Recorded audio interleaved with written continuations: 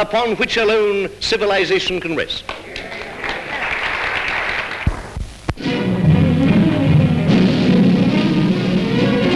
There was a big audience of troops and home guards for the RAF's Army Cooperation Show, a realistic demonstration of how air power combines with an army on the offensive.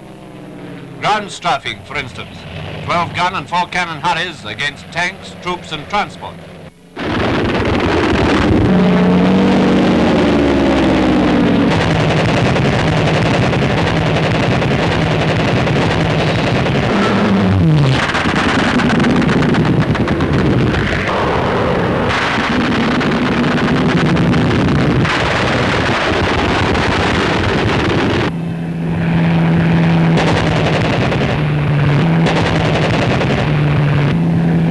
Diving on their targets at over 300 and firing live ammunition, the Hurricanes gave a pretty good idea of how they'd cooperate with an attacking army.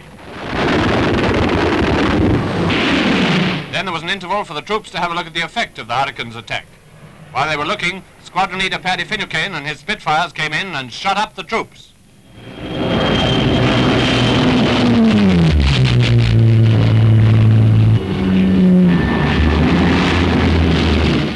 During the show, there was a fly around by two German aircraft, an ME 110 and a Heinkel 111. That's the Heinkel.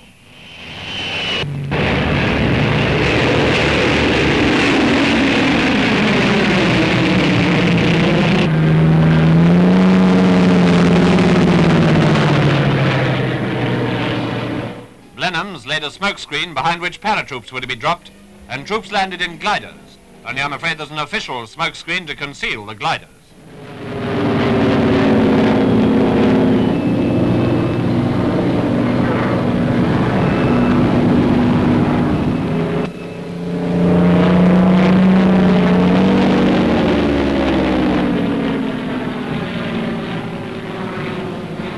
The paratroops, of course, may be seen, coming down from their Whitleys to cut the enemy's communications and speed up the advance of our attacking troops.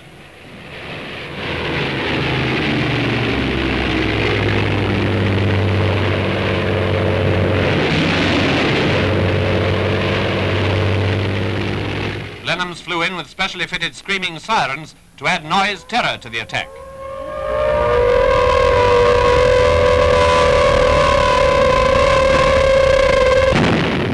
And there was bombing, an attack on enemy tanks and brigade headquarters by Boston.